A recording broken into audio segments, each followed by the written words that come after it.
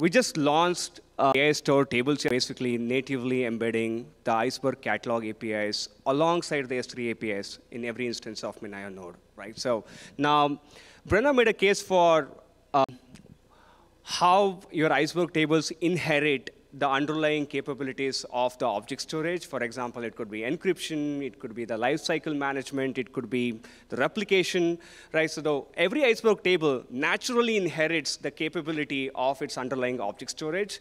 And, but while this enables you to like seamlessly scale, you know, keep your data secure, or have so much of you know features that applies to your data, doesn't necessarily apply to your catalog because most of the catalogs are based on Postgres.